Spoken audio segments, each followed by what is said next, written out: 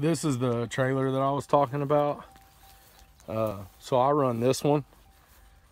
And on the front of it, I get another four dog box. I'm not using it right now. I just haul everything on there. Another one of the hanging tree guys builds these. They're Circle D or something, but Brand M trailers in Henrietta.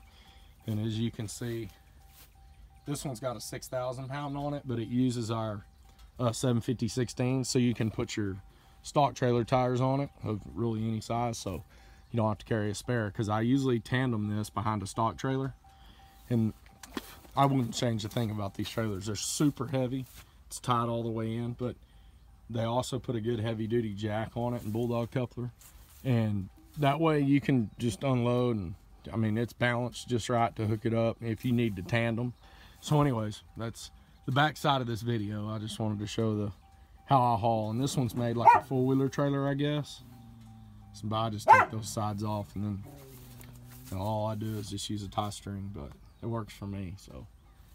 And I drive fast, so. but anyways, that's really it. Uh, I just wanted to show you the back side of that, and that's all I do. I just haul the dogs up there. And in the winter, they got this to hold it off of them. I don't think they mind.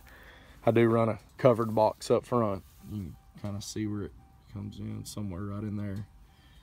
Uh, I run that box if I've got more and just put more water on. So that's it.